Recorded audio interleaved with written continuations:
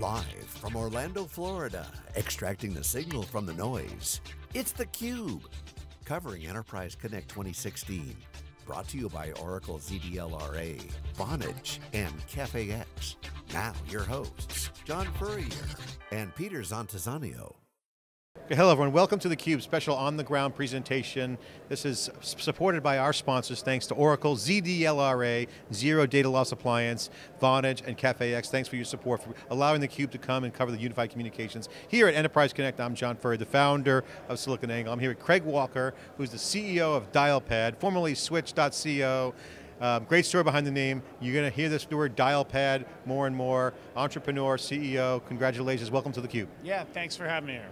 So great story, you've been an entrepreneur, you sold your company Yahoo, Dialpad, you get the domain back, change your name from Switch to Dialpad, but more importantly, you're back in a world where as an entrepreneur and, a, and having a growing company that you're in, is a perfect storm. The cloud, mobile, disrupting and changing the user experience, and now the telephony, telephone, which is essentially software on a device yeah. with the internet and a computer, yeah. it's completely changing the game. So share your thoughts, because this is a whole paradigm. If, if, you start, a, if anyone starts a company in the past five years, probably doesn't have a data center or an IT shop, or probably doesn't even have phones. Yeah, that's exactly right. And um, the switch to dialpad as a name is exactly that. Like, a dialpad is how you initiate a call, right? And it's going to be on your computer, it's going to be on your watch, it's going to be on your smartphone, may even be on a desk phone. So we really love the brand. But we've been doing uh, voice over IP since 2001 and left Yahoo in 2005 after they bought, bought Dialpad the first time um, and started Grand Central, became Google Voice, and then now we're doing Dialpad again, just bought the domain back from Yahoo. Um, and it's all about enterprise communications, right? And it's, if your business is moving to the cloud, or if your business is in the cloud for its email and its calendar and its everything else and its documents and its drive, then it makes absolutely no sense for you not to enable the business phone system to go with you wherever you go, mobile first, cloud first. Craig, you have such a perspective because you talk about Grand Central, you talk about unified communications. Back then, unification was one phone number, a mobile phone numbers, Google Voice, among the others. You guys powered a lot of that stuff. Remember those days. But it's not the phone anymore. The thing about the iPhone, which is not even 10 years old, is it's a computer with that of software that runs telephone calls. Yeah. That's all, it's one feature of the computer. Yeah. This has changed the game. So now, people have prolific, uh, prolif proliferated cell phone usage is huge. Everyone has an iPhone or an Android phone. Yeah. And the Office phone has become a relic. Yeah, it definitely has, and we're like we're we're partnered with Sprint. Sprint's one of our great partners who we're actually in their booth here, and we're part of their mobility as a service thing. And that that entire pitch is, you don't need a desk phone you need a mobile phone, right? And your mobile phone can be your personal phone and your business phone all in one because Switch or Dialpad, Dialpad allows your personal phone to have two personalities. So if I'm making a work call, I'll use the Dialpad app. If I'm making a personal one, I'll use my, you know, just the native dialer.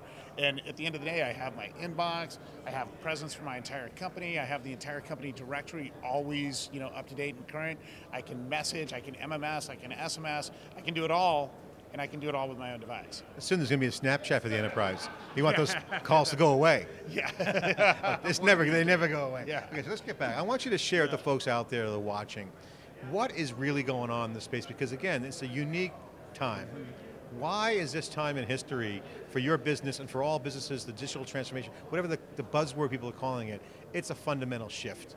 And the people that are out there building companies, spending cash to create value for their business, mm -hmm. your customers' customers, What's the big deal? Why is this whole thing important? What's the big driver? Is it the clouds it mobile, all the above? What's your take? Share your thoughts. Yeah, I think it's all the above. I mean, the, the way people coming out of college today, the way they work is entirely different than when I came out of college, where you were expected to go to work Monday through Friday and sit at your desk most of the day, right? Um, our own company, we're 140 people, we work from home a couple days a week super productive because whether I'm at home, whether I'm in the office, it really doesn't matter. My my business communications goes with me, all my documents go with me. I'm on my mobile phone, I'm traveling, I'm here in Florida. It's as if I'm at work because I'm now connected through that mobile device.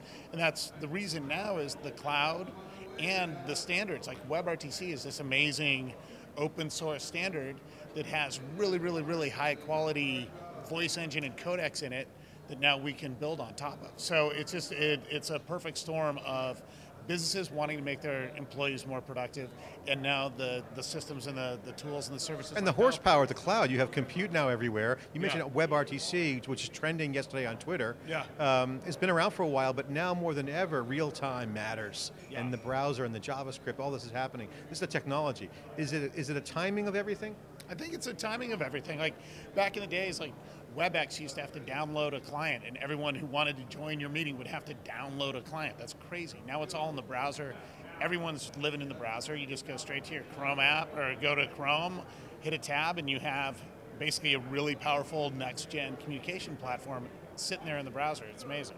So my company, SiliconANGLE Media, Dave Vellante and I run that. We have about 35 people. We don't have a data center. We don't have servers in a telephone closet. We don't even have telephones. Yeah. We all have cell phones. Yeah. So we, as we go to the next level, we're a small company growing, but there's companies with thousands of people out there that have phones that are moving to your the dial pad business model. This is the new way, the generational shift you mentioned, but now let's talk about the legacy. Those people that are running companies aren't millennials, Yeah. but they also have to serve millennials as employees and customers. That's right. Why is this successful? And give an example of, of someone who's used Dialpad uh, with, with Google, for instance, and share an example you, you, you did on the keynote. Sure, yeah. A great example is Motorola Solutions. 100 year old company out of Schaumburg, Illinois, 22,000 employees worldwide, 165 offices in 60 different countries. And they have you know, an older workforce and a younger workforce. And so they're like, how do we build for the future? And when they moved to Google Apps, when they moved their email and their documents and their calendar to the cloud, their phone system absolutely had to follow with it, right? So they've saved more than seven, like they won't give me the exact numbers, but over seven figures a year by moving to Swi or Dialpad. And not only that, the employees are more productive. So they're seeing more and more engagement and more and more communication between employees. They're able to actually measure the minutes that used to go on their PBX versus what's going on on Dialpad. And it's going back up because people are able to use their mobile mobile phones to do work. Great story about you just changed your name to Dialpad just yesterday, which is a company you sold to Yahoo, and you got the domain back from Yahoo, and they were cool about that. So new name, congratulations. But what's the big plans? We're going to be see, seeing Dialpad everywhere. What's the branding plans? What are you guys going to be doing this year? Share your thoughts on what you guys going to be doing. Yeah, so uh, so the big brand plan for us is Dialpad, obviously, and um, more and more partnership type stuff. So Google's a great partner. Sprint, we mentioned, is a great partner. We have we have great partnership with all the Google Apps resellers, so we're getting out into a lot of these opportunities because of our partnerships. And then we're just going to continue adding more and more functionality to the product. We have another product called Uber Conference that makes conference calling really, really, really simple. No pins. We give you a URL so you can see everyone on the call and you know who's talking and you get the LinkedIn profiles of everyone on your conference call. We're going to start putting those that functionality into Dialpad as well. And so it's just going to continue to be, and this is the beauty of the cloud, right? These large enterprise Motorola is just going to get that. It's just going to appear. There's no upgrade path. There's no IT push. It just happens. So that's Software is driving all this. yeah, software's driving all of it. All right, Craig Walker here in theCUBE. Thanks for watching On The Ground. Thanks for sharing your thoughts. I'm John Furrier. Thanks for watching.